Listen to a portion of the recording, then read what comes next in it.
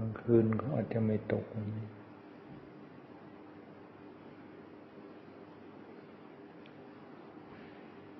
ตกกลางวันก็ตกกลางคืนไม่ตกกลางวันก็ตกกลางคืน วันนี้กลางวัน มีมานิดหน่อย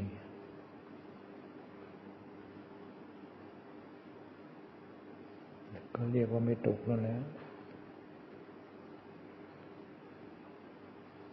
กลางคืนก็รู้สึกจะไม่มีวันนี้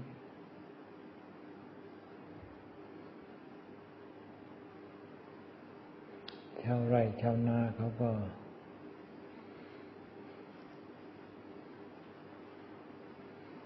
เรียกว่าพอเป็นไป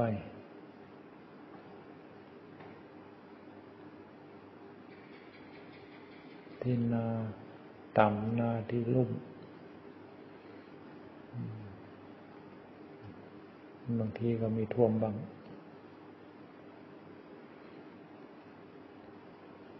นาดอนนาที่สูงได้ยินข่าวว่ายังไม่มีน้ำ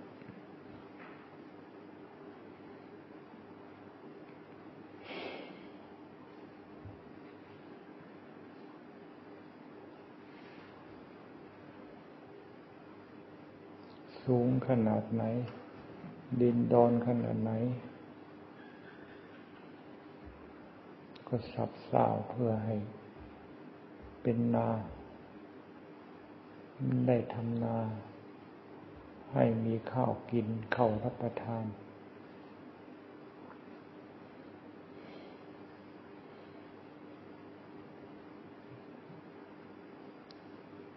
ที่สูง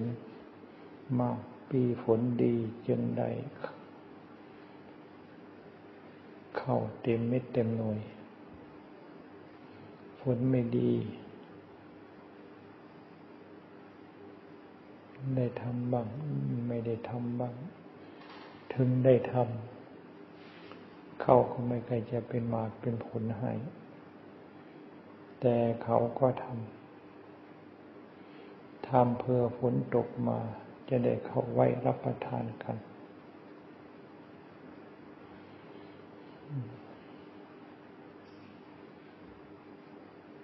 จึงว่าสิ่งที่ เป็นอาหาร เป็นข้าวเอามาเป็นอาหารนี่ กว่าจะเป็นข้าวนี่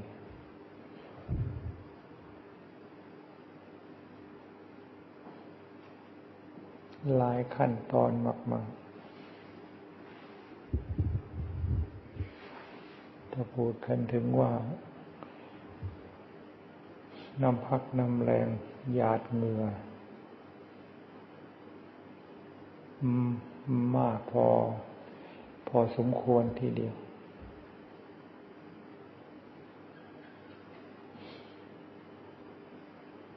พระพุทธเจ้าท่านก็ทรงเทศนาไว้ให้เขาให้เคารพในไทยทาน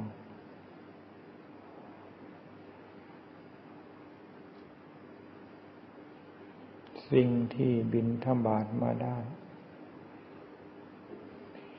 ห้ามไม่ให้แจกใจไปทางอื่น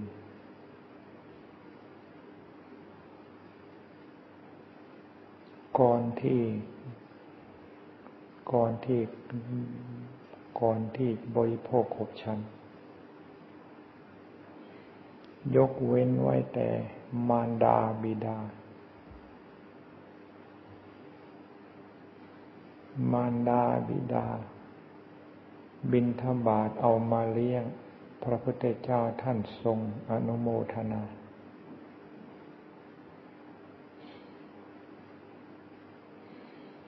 นอกจากมารดาบิดาแล้วนี่ห้ามไม่ให้บินทบาทเอาไปเจ็บใจ เว้นไว้แต่เหลือจากที่ขบฉันแล้ว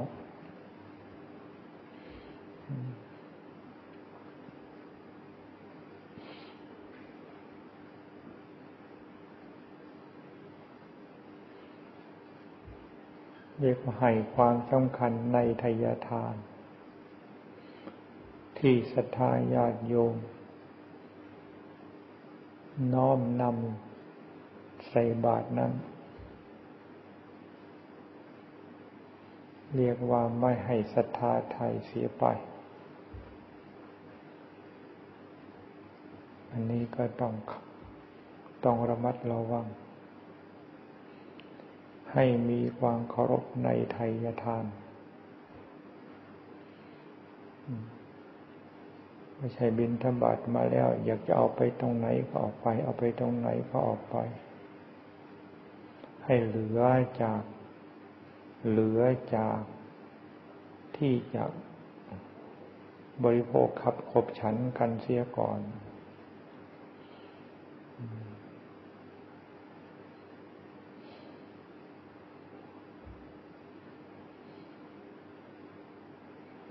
หรือแบ่งไว้บริโภคครบฉันแล้ว ยังไม่ฉันก็แสดงว่าที่แบ่งไว้นั่นพอฉันแล้ว หลังจากนั้นก็เป็นอันว่าเหลือ ทำยังไงจึงจะมีความเคารพในทยทาน การกระทำนั้นเป็นธรรมเป็นวินัย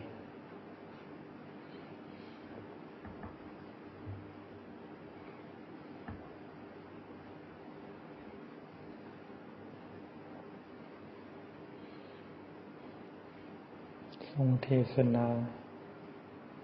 ในทัศธรรมสูตร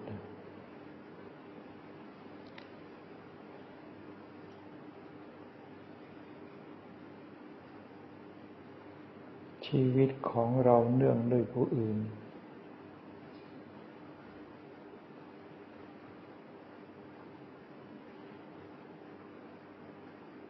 ทำเราเป็นคนเลี่ยงง่าย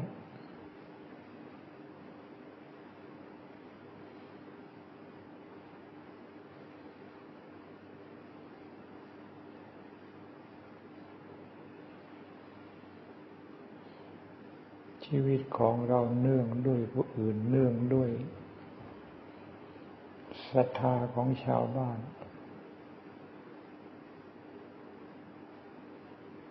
ทำยังไงเราจะเป็นคนเลี้ยงง่าย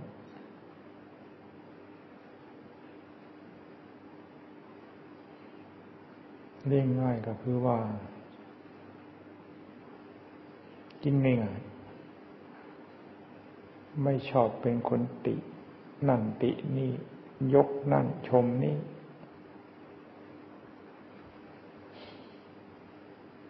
ไม่เป็นคนช่างในไม่ชอบติชอบชม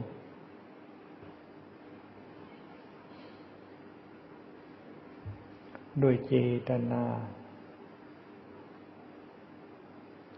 ความอยากครอบงำ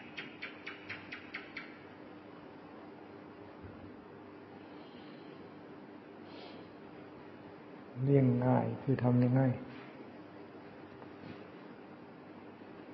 พระพุทธเจ้าท่านทรงสอนให้ บินทบาทมาฉัน และพระพุทธเจ้าก็ทรงบำเพ็ญ เป็นแบบฉบับ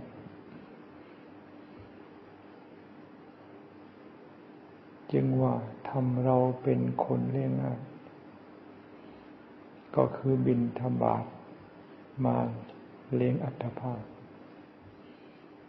การบินธบาตเป็นการบินธบาตไม่ใช่การบีบบังคับ หรือไม่ใช่เป็นการขอเป็นการบินธบาตขอพระพุทธเจ้าห้ามขอ เว้นไว้แต่ญาติ คนไม่ใช่ญาติ จะขอเสียปัจจัยส่วนใดส่วนหนึ่งไม่ได้ ปัจจัย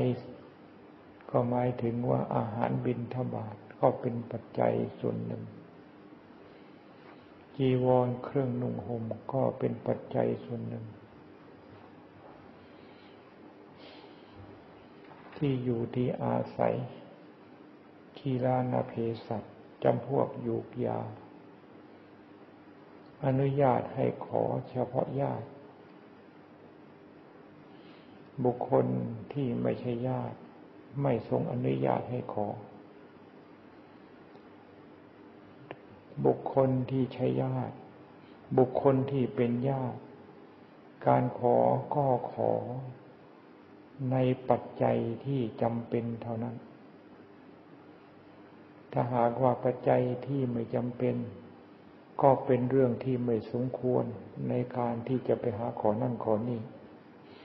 ไม่ใช่กิจของ ไม่ใช่กิจของพระ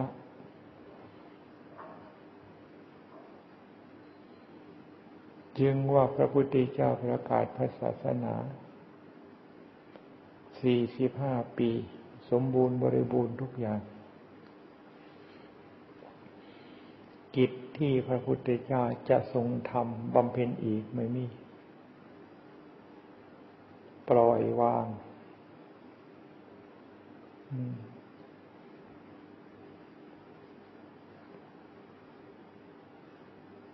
ทุกอย่างตามความเป็นจริง ความจริงของเขาเป็นอย่างไรพระพุทธเจ้าก็ปล่อยวาง ไปตามความเป็นจริงของเขานั้น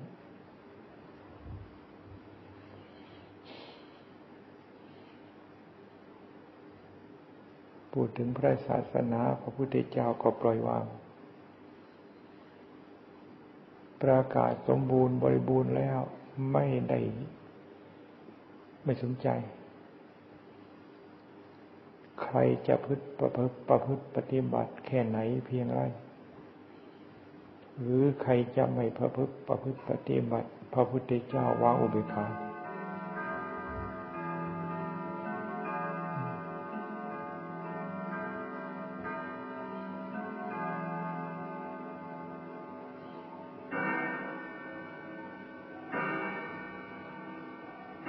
พูดกันถึงว่าว่าง เบญจขันธ์ปล่อยวางเบญจขันธ์ เรียกว่าพระพุทธเจ้าก็ปล่อยวาง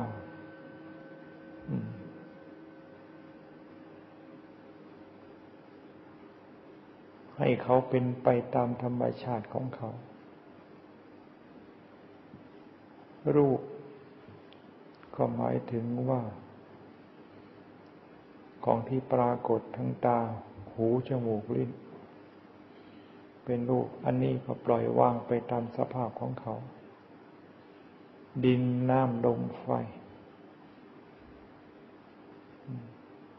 เวทนาสัญญาสังขารวิญญาณ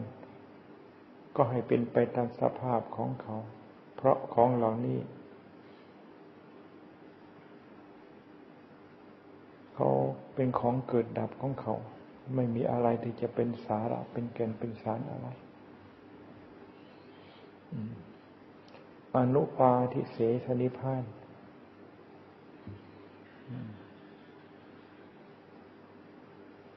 ธาตุทั้งหลาย สู่สภาพความเป็น สู่สภาพความเป็นธาตุดินน้ำลมไฟก็เป็นดินเป็นน้ำลมไฟ ทุกอย่างเป็นไปตามธรรมชาติของเขา ธรรมชาติ ความเป็นพระพุทธเจ้า ก็เป็นธรรมชาติ ความเป็นพระพุทธเจ้าอยู่อย่างนั้น ไม่มีการเกี่ยวข้องกันอีกต่อไป ไม่มีการเกี่ยวข้องกันตลอดการไป เป็นธรรมชาติที่เป็นอมตะธรรมชาติเป็นเป็นพระพุทธเจ้า เป็นธรรมชาติที่เป็นอมตะ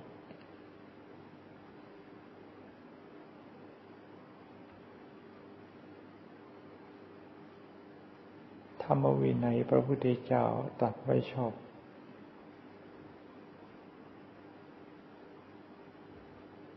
แทนองค์พระพุทธเจ้า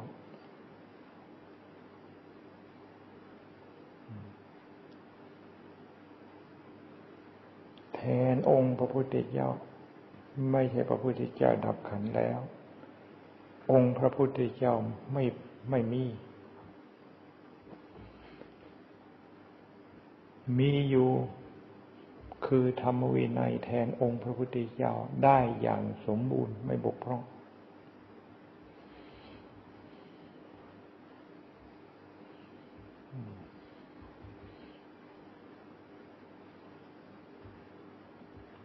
พระพุทธเจ้าทรงสอนไว้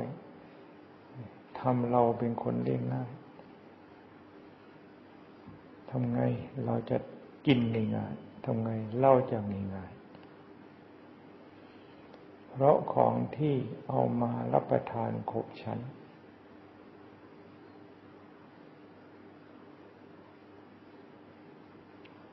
เต็มท้องแล้วอิ่มทั้งนั้น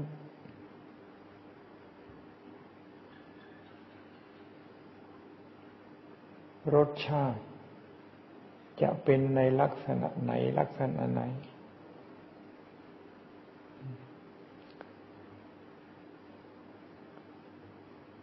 าท้องก็เป็นภาชนะชนิดหนึ่ง ในเมื่อเต็มภาชนะเขาเรียกว่าอิ่ม และท้องนั้นเขาก็ไม่รู้จักว่ารสชาติเป็นยังไง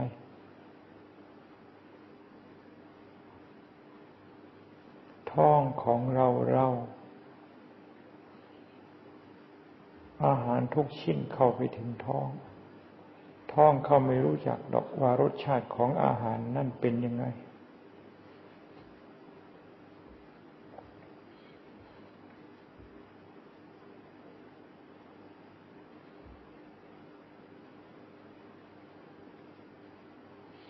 แม้แต่ลิ้นลิ้นจริง ๆ นั่น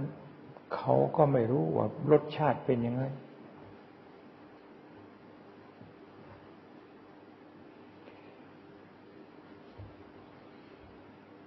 แต่ลิ้นเป็นแต่เครื่องส่วนหนึ่งที่จะสัมผัส ให้ธาตุรู้ให้จิต รู้ว่าอันนั้นเป็นอย่างนั้น อันนั้นเป็นอย่างนั้นเท่านั้น ลิ้นจริง ๆ เขาไม่รู้จักว่าเป็นรสอะไร ก็เหมือนตาอย่างนี้ ตาสัมผัสรูป ตาไม่รู้ว่าเป็นอะไรดอก ผู้ที่รู้ก็คือผู้รู้ คือเท่าที่เลยจิตที่รู้นั้น หูที่สัมผัสเสียง หูไม่รู้ มีแต่จิตเท่านั้นรู้ จมูกสัมผัสกลิ่นก็เช่นเดียวกัน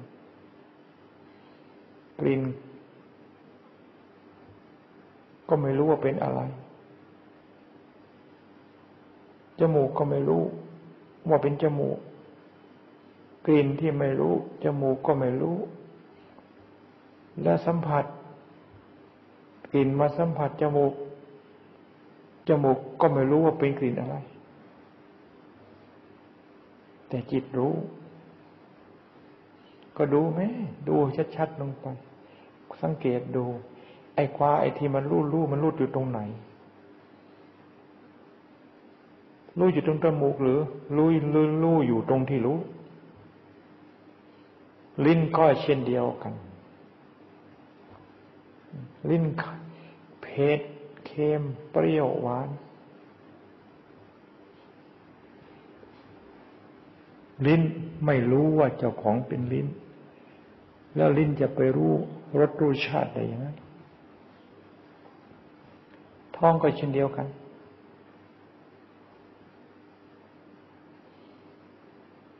ในเมื่อความจริงเป็นอย่างนี้ อย่าไปให้ความสำคัญกับรสชาติมากไป ถ้าหากว่าหากให้ความสำคัญแก่เรื่องอ อริดอร่อยมากไปนั่น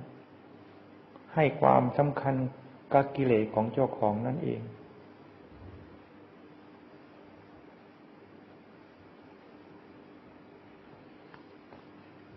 กิเลสเรายิ่งให้ความสำคัญกับเขามาก เท่าไหร่ เขายิ่งทำให้เราเสียหายมากเท่านั้น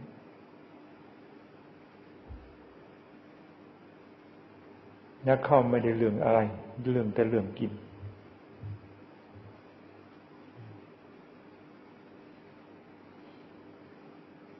จึงว่าอะไรก็ช่างต้องเอามาพิจารณา